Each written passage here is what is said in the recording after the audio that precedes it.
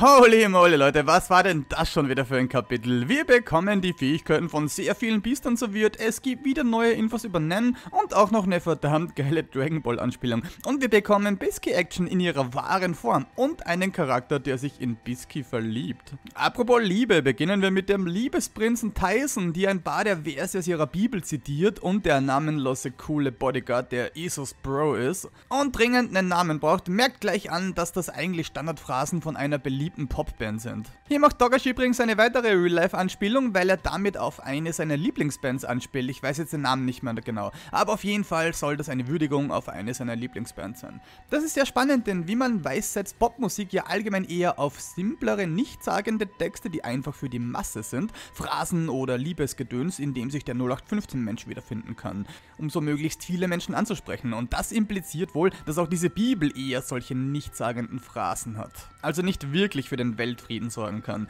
Wir sehen dann zum ersten Mal ihr komplettes Nennbiest, denn bisher hat man ja nur die kleinen Dinger gesehen, die es ausspuckt. Und ja, es ist einfach ein Herz. Isos Bro kommt dann schnell auf die Idee, dass es vielleicht eine Art Genki-Dama-Fähigkeit ist, also dass der Prinz damit Kraft sammelt von anderen für eine ultimative Attacke. Und sogar Iso hat Dragon Ball gelesen. Ich finde es halt wahnsinnig geil, dass es Dragon Ball in der Hand der Hand der Welt halt einfach gibt. Ja, die Genki-Dama-Referenz ist auch gut gewählt, weil wohl wirklich jeder Anime-Fan weiß, was die Genki-Dama ist und Dogashi sich so längere Erklärungen spart. Und falls nicht, könnte man es halt immer noch googeln.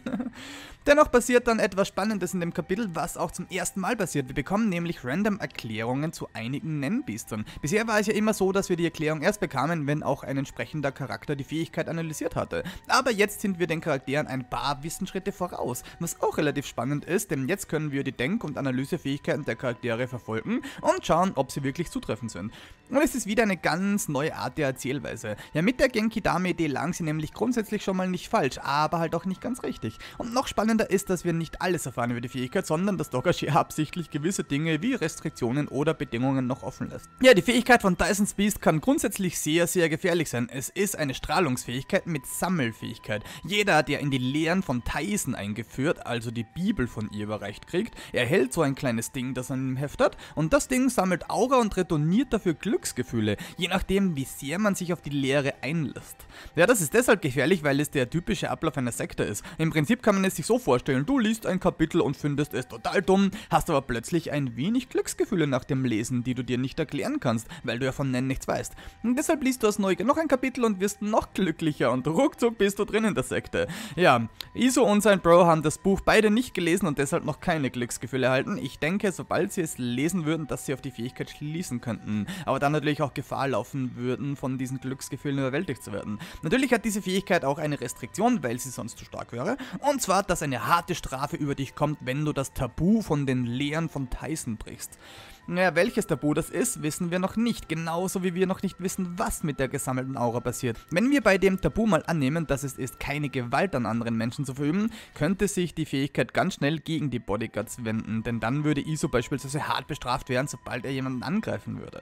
Und hier kommt auch wieder das Gemeine an den Nennbistern zum Vorschein, und zwar, dass es relativ schwierig ist, die Fähigkeit seines eigenen Biestes zu durchschauen, weil man ja keine Hinweise drauf hat. Und es ist auch gar nicht nötig eigentlich, weil man ja eh nichts dagegen tun kann und das Biest ja auch nicht kontrollieren kann. Das handelt ja selbst selber aus Eigeninteresse. Aber dennoch ist es für die eigene Planung zumindest hilfreich, seine eigenen Fähigkeiten zu kennen. Wichtiger ist es allerdings, die Fähigkeiten der Biester der anderen Prinzen zu durchschauen. Camillas Beast ist ein Steuerer mit der klassischen Illumi-Schallnack-Fähigkeit, also sobald eine gewisse Bedingung erfüllt wurde, kann es das Ziel frei kontrollieren. Und ich muss auch nochmal sagen, wie unglaublich gut die Fähigkeiten zu den Persönlichkeiten einzelner Prinzen passen. Camilla hat in einem früheren Kapitel ja schon mal gesagt, dass es ihr am liebsten wäre, wenn die Menschen einfach das tun würden, was sie sagt, beziehungsweise wenn ihr alle folgen würden. Und sie ist auch sehr naiv und einfach gestrickt, sodass diese relativ typische und im Endeffekt einfache Steuererfähigkeit gut zu ihrem Beast passt. Jetzt bleibt nur noch die Bedingung abzuwarten, aber das Beast könnte durch durchaus noch interessant werden, auch wenn Camilla selbst sagt, sie plant gar nicht es einzusetzen, aber es könnte ja wie gesagt immer noch aus eigenem Willen handeln und irgendwann eine wichtige Person kontrollieren. Und auch Prinz 5 zu Peppers Beast passt gut, weil sie uns ja im ersten Panel bereits als Chemikerin präsentiert wurde. Tja, dennoch muss ich sagen, dass diese Fähigkeit die mit bisher Abstand schwächste ist. Also es ist eine Partnerveränderungsfähigkeit, sprich man braucht eine weitere Person für die Fähigkeit. Den Typ kennen wir auch schon von Tsubone, die eine weitere Person braucht, um gesteuert zu werden. Ja, ist eine blöde Restriktion, die die Fähigkeit dafür umso stärker macht. Jedenfalls braucht es einen Forschungskollegen und dann kann das Biest in seinen Körpern Drogen und Chemikalien mit verschiedensten Effekten produzieren. Ja, da die Bedingung nervig ist, gehe ich davon aus, dass das Biest durchaus relativ starke übermenschliche Dinge erschaffen kann. Liebestränke und so Zeugs zum Beispiel.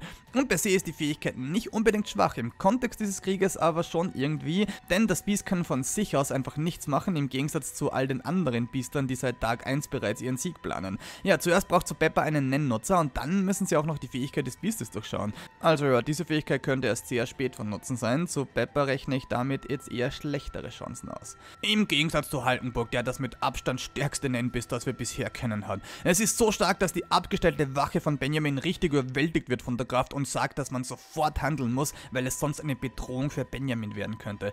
Entgegen der Vermutungen ist es kein Steuerer, sondern ein Verstärker, was es schon mal per se gefährlicher macht, weil es ja auch ganz normal angreifen kann, das darf man nie vergessen. Und auch bei allen anderen Nennbistern, wir haben ja von Seritniks Pferd schon einen Angriff gesehen, auch wenn es nur an eine Kakerlake ging. Aber ja, wenn jeder mit der Federmarkierung denselben Willen teilt, dann steigt die Aura dieser Personen ins Unermessliche. Die Kraft steigt bis zur absoluten Top-Klasse von allen Nennfähigkeiten. Ich würde die Aura beinahe schon mit der von Meruem vergleichen. Wenn sie ihren Willen vereinen, könnten sie theoretisch einfach zu Benjamin reinmarschieren und ihn umlegen. Da könnte man absolut nichts dagegen machen. Von so starken Auen wurden ja bereits mächtige Nennutzer wie Nov komplett umgehauen. Sie beten gerade für den zwölften toten Prinz und dieser gemeinsame Wille ruft diese Kraft hervor. Benjamins Wache ist sich sicher, dass man ihn töten muss, bevor er seine Kraft durchschaut hat. Das Nennbiss von Haltenburg hat aber längst durchschaut, dass die Wache ein Nennnutzer ist und beobachtet ihn aggressiv. Da es ein Verstärker ist, könnte es leicht sein, dass er die Wache einfach wegklatschen würde, wenn er einen Angriff starten würde. Dann kommt noch hinzu, dass es, obwohl es ein Verstärker ist, auch eine sehr mächtige Steuererattacke beherrscht, denn die Federn waren immerhin dazu in der Lage, die Erinnerungen von den Wachen auszulöschen.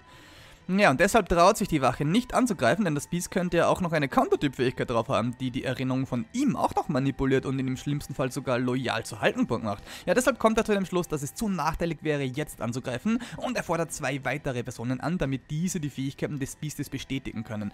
Das teilt der Benjamin und Balsamico auch mit und Benjamin ist mittlerweile relativ genervt von der Situation. Ich meine, wir haben den Silent Majority Assassinen im Raum 14, die gigantische Kraft von Haltenburgs Beast und den Trash im Raum 4, womit er seinen Bruder Bruder Zerit nicht meint. Benjamin hat sich die ganze Sache vermutlich leichter vorgestellt, als sie nun ist. Balsamico macht ihm aber klar, dass die Reise gerade erst begonnen hat und vermutlich noch mehr Dinge geschehen werden und in der Tat, wir sind erst bei Tag 2. Ja, Balsamico möchte von Benjamin, dass er nichts überstürzt. Tja, seine Ungeduld ist eins der Dinge, die Benjamin vielleicht den Kopf kosten könnten. Halkenburgs Beast ist relativ overpowered, aber es hat auch dementsprechende Bedingungen, solange nicht gerade die Situation da ist, dass all seine Leute einen bestimmten Willen teilen, wie bei der Trauerminute, kann sich die Fähigkeit auch nicht aktivieren. Und selbst wenn sie sich aktiviert, hat sie erst dann einen Nutzen, wenn Haltenburg seinen inneren Konflikt beseitigt hat und sich entschließt, die Monarchie durch Kampf zu erreichen. Und das sieht zurzeit gar nicht so aus, denn unter Tränen will er wieder zu seinem Vater gehen, obwohl das unter der Woche nicht erlaubt ist, um ihn zu bitten, den Krieg zu stoppen. Auch wenn er dafür ins Gefängnis kommen könnte. Ja, das ist gut, weil jede Szene mit dem König wertvoll ist, um weitere Hinweise darauf zu halten, was denn nun der wirkliche Sinn des Krieges ist. Andererseits finde ich auch, dass Dogesh einen guten Kompromiss damit geschaffen hat, zu welchen Biestern er uns mittels Erklärungen des Erzählers die Fähigkeit erklärt und welche Fähigkeiten wie die vom Drachen oder von den Zwillingsschwestern er uns einfach so zeigt. Es ist eben einfach an der Zeit, die Fähigkeiten aller Biester zu enthüllen und es wäre plottechnisch doof, jetzt allen Prinzen Screentime zu geben, nur um ihr Biest zu enthüllen. Denn vor allem Prinzen wie Camilla kann man ja zurzeit eben nicht viel Screentime geben. Ja, Fugetsu versucht jedenfalls irgendwie diesen Tunnel wieder zu aktivieren, nachdem sie am Morgen zurückgelettert ist in ihr Bett, aber es funktioniert nicht. Es bleibt also noch offen, was die Bedingung für das Erscheinen des Tunnels ist. Bis auf Wobble und Kacho haben wir jetzt übrigens jedes Nennbiss gesehen. Von den Fähigkeiten wurde bisher einzig zu Benjamin, Zeritnich und Wobble noch gar nichts enthüllt und gerade bei Benjamin hatte Dogashi ja schon die Möglichkeit gehabt und ganz frech einen Kasten gemacht mit Fähigkeit von Benjamins Biest, Fragezeichen, lol. Dann bricht der Morgen an und Hanzo kann endlich zurückkehren in seinen Körper, weil er von Biski angesprochen wird. Ja, Biski war natürlich relativ angepisst, aber Hanzo hatte die Lage relativ schnell erklärt und auch sie kommt zu dem Schluss, dass es ziemlich sicher das Nennbiss des Jungen ist. Jetzt geht es darum, den guten Verge davon zu überzeugen, aber dieser will nicht mal mehr Berelente zum Training schicken, da es ja nur Hokuspokus ist und dabei einer ihrer Leute ermordet wurde, womit er auch die Königin überzeugt, die gerade beim schlafenden Jungen ist. Ja, Fun Fact, der Junge hat seit seiner Einführung noch nicht ein Wort gesagt. Und prinzipiell hat er damit recht, dass dass es sich nicht mehr lohnt, denn sie haben ja eh keine privaten Soldaten, sie haben nur mehr Arbeiter. Bisky kommt dann auf den Kompromiss, dass sie Werge und den Arbeitern Nen einfach hier in diesem Raum lehrt. Ja, Werge hält dann seine übliche Hokuspokus-Rede, aber zack, Bisky geht einfach in ihre wahre Form und haut ihn damit komplett um. Ja, und dann passiert etwas Spannendes. Werge verliebt sich direkt in Biskys wahre Form und entpuppt sich als Zundere-Charakter, also ein normalerweise typisch weiblicher Charakter, der zickig und streitsüchtig ist, aber unter gewissen Umständen, meist in Anwesenheit einer bestimmten Person, plötzlich zurückhaltend und liebenswert wird. Also normalerweise ein typischer Gag-Charakter und ja, das lockert das Kapitel total auf und ist fast schon untypisch für Hunter Hunter. Der Moment, als er denkt, wie so etwas Schönes existieren kann, ist wohl seit langem der lustigste Hunter-Moment ever. Und ich musste wirklich lachen, als er dann ihre Muskeln und alles beschreibt. Ja, der Typ hatte jetzt bereits Kultstatus bei Reddit-Memes, aber der Nachteil an so einem Gag-Charakter ist halt auch, dass er den Charakter an sich total zerstört. Sprich, dass man ihn nicht mehr länger ernst nehmen kann. Allerdings könnte das Ganze für Bisky eine spannende Charakterentwicklung werden, da sie ihre Form ja hässlich findet. Wer weiß, was passiert, wenn sie herausfindet, dass es jemanden gibt, für den ihre wahre Form das Schönste ist, das er je gesehen hat. Auf jeden Fall erzielt diese Vorstellung ihren Effekt, sogar Hanzo meint, dass das ziemlich unglaublich ist. Wir bekommen eine kleine Erklärung für diese Fähigkeit, bis gesagt, sie wisse selbst nicht genau, wie die Fähigkeit funktioniert. Sie hat sich diese Fähigkeit über Jahre hinweg gewünscht und Stück für Stück begann sie sich dann zu verändern. Hm, das ist echt interessant. Also genau wie Teleportation wohl die Königsdisziplin von Strahlung ist, ist die Veränderung des eigenen Körpers wohl die Königsdisziplin von Transmutation. Und zwar so krass, dass selbst eine Nennmeisterin wie Bisky es noch immer nicht ganz begriffen hat. Werge hat für all das aber eh keine Ohren mehr, er will, dass Bisky ihm Nennen lehrt und der Rest von ihm ist dann typisches Zundere-Gelaber. Er wirft seine Prinzipien komplett über Bord mit fadenscheinigen Ausreden, um Bisky zu gefallen. Und außerdem wird Berelente wieder zum Training geschickt, damit er die Situation checken kann und damit sie die Sache mit dem teleportierten Raum klären können.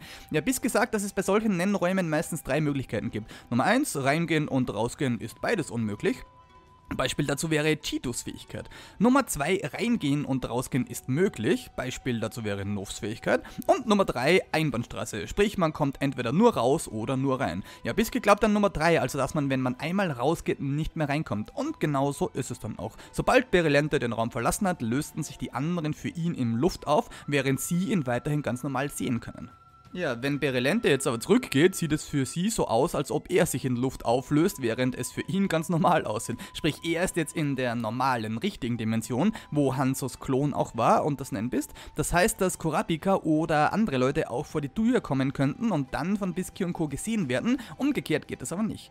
Und somit macht er sich auf zum Nen-Training. Ja, eine passive Fähigkeit passt eigentlich relativ gut zu diesem kleinen Jungen, der bisher kein Wort gesagt hat. Und es ist eigentlich eine ziemlich gute Fähigkeit für diesen Krieg, wenn wir annehmen, dass er den Raum Raum beliebig lange aufrechterhalten kann, können sie den Krieg perfekt aussitzen. Ja, das alles hat Werge aber schlussendlich überzeugt und so beginnen auch sie ihr Nenntraining. Das war's mit diesem Kapitel und tatsächlich auch mit der Storyline von Bisky und Hanzo bis zum aktuellen Kapitel. Ja, die sitzen den Krieg zurzeit halt wirklich gerade in ihrem teleportierten Raum aus und bisher wurde das noch von niemandem bemerkt. Ja, fast schade, weil Bisky einer der coolsten Charaktere für mich auf dem Schiff ist und ich hoffe, dass sie bald wieder relevant wird und vielleicht sogar in ein paar Kämpfe verwickelt wird. Okay, tschüss.